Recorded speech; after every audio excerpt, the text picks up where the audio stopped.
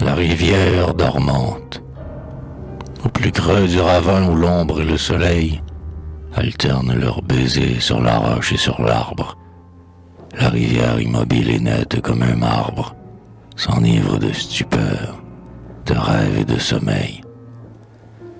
Plus d'un oiseau, tardant l'éclair de son plumage, la brûle dans son vol, ami des nénuphars. Et le monde muet des papillons blafards, y vient mirer sa frêle et vacillante image. Descendu des sentiers tout sablés de mica, le lézard inquiet cherche la paix qu'il goûte. Sur ces rocs fendillés d'où filtrent goutte à goutte des filets d'eau qui font un bruit d'harmonica. La lumière est partout si bien distribuée qu'on distingue aisément les plus petits objets. Des mouches de saphir, d'émeraude et de jet, au milieu d'un rayon vibre dans la buée. Sa mousse qui ressemble au grand varech des mers éponge tendrement les larmes de ses saules. Et ses longs courriers, souples comme des gaules, se penchent pour la voir avec les buis amers. Ni courant limoneux, ni coup de vent profane, rien n'altère son calme et sa limpidité. Elle dort, exhalant sa tiède humidité, comme un grand velours vert qui serait diaphane. Pourtant cette liquide et vitreuse torpeur, qui n'a pas un frisson de remous ni de vague, murmure un son lointain, triste, infiniment vague, qui flotte et se dissipe ainsi qu'une vapeur.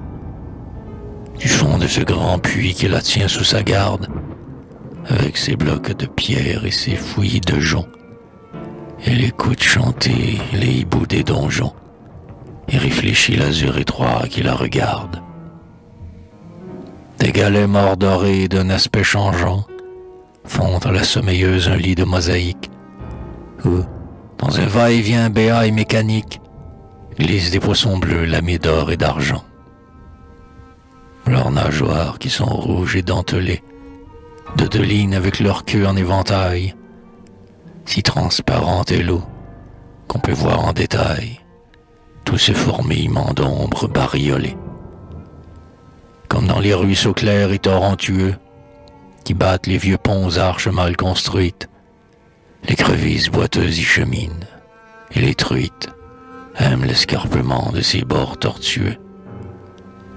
L'âme du paysage à toute heure voltige, sur ce lac engourdi par un sommeil fatal, d'allées de cailloux plats et dont le fin cristal à les miroitements du songe et du vertige.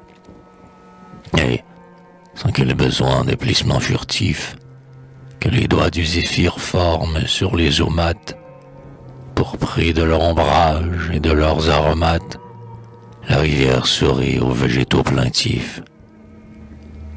Quand tombe la nuit spectrale et chuchoteuse, elle sourit encore aux parois du ravin, car la lune, au milieu d'un silence divin, y baigne les reflets de sa lueur laiteuse.